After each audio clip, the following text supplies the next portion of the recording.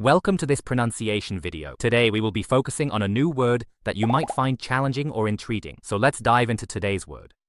Saikoushin, which means highest god in Japanese. Let's say it all together. Saikoushin. Saikoushin. Saikoushin. One more time. Saikoushin. Saikoushin.